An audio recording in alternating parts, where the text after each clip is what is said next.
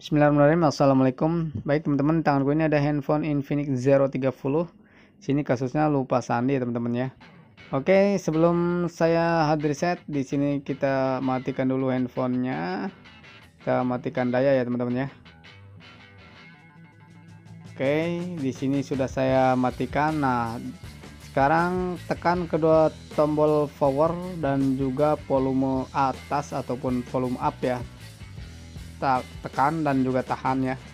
Sampai muncul logo tampil. Nah tampil lepas tombol powernya tapi tetap tahan ya volume atasnya. Volume up tahan. Nah sudah tampil seperti ini kita klik uh, kita tahan beberapa detik ya. Volume atas dan juga power. Oke seperti ini. Sudah tampil seperti ini. Tinggal kita cari menu factory reset ya. Oke ini dia. Kita klik oke nah kita pilih yang bawah ya. Factory reset kita klik OK. Kita tunggu sebentar. Nah ini uh, reboot system kita klik OK juga.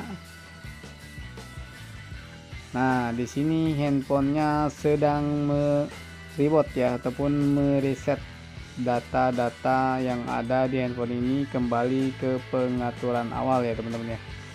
Nah di sini loadingnya lama. Jadi video durasinya saya coba percepat teman-teman ya. Kisaran 30 menitan ya teman-teman ya. Tergantung handphonenya juga. Oke mungkin uh, sampai di sini. Semoga bermanfaat. Assalamualaikum warahmatullahi wabarakatuh